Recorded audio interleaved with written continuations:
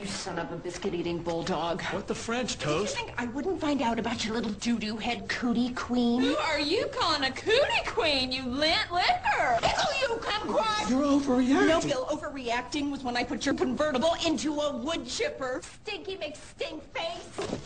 Fabulous.